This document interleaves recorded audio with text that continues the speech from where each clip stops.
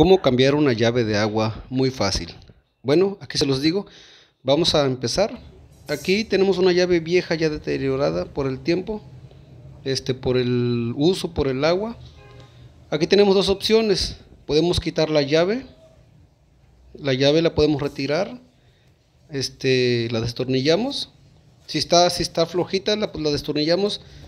O también lo podemos hacer este, cortando con todo de cople, ya que pues el cople pues va a quedar inservible. Entonces podemos, aquí podemos este, con una cegueta, con un cuchillo que tenga así, este, la cosa es que no se compliquen mucho. En este caso tenemos que quitar el cople completo para poder poner el nuevo. Entonces pueden usar una cegueta o pueden usar un cuchillo. Miren, yo aquí tengo un cuchillo para cortar queso.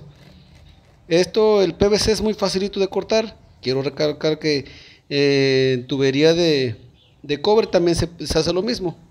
Entonces cortamos el tubo de PVC, ya lo removimos, ya que estaba pegado con, obviamente con, pegamento, válgame la redundancia. Entonces ya este, queda libre. Podemos echarle solvente para limpiar el tubo de PVC o podemos lijarlo un poquito con, con la lija, ahora sí. Y tenemos el coplecito. Aquí tenemos un cople que en un lado es liso y del otro lado tiene rosca. Ese cople lo vamos a meter aquí ya en el tubo limpio de PVC. Le vamos a echar pegamento y del pegamento que ustedes tengan, de preferencia pegamento de PVC o igual puede ser silicón, la cosa es que no tenga fuga. De este lado va a entrar la llave. Antes de poner la llave le vamos a poner un poquito de teflón en la rosquita para evitar fuga. Podemos poner el cople primero en la llave para apretarlo bien y ya después este, ponemos lo que es el pegamento y ya va a entrar este ya para no moverlo pero ya va a quedar la llave bien atorada o atornillada al cople. Luego ya nada más lo, embonamos con el, le echamos pegamento o silicón como les digo o de lo que ustedes tengan.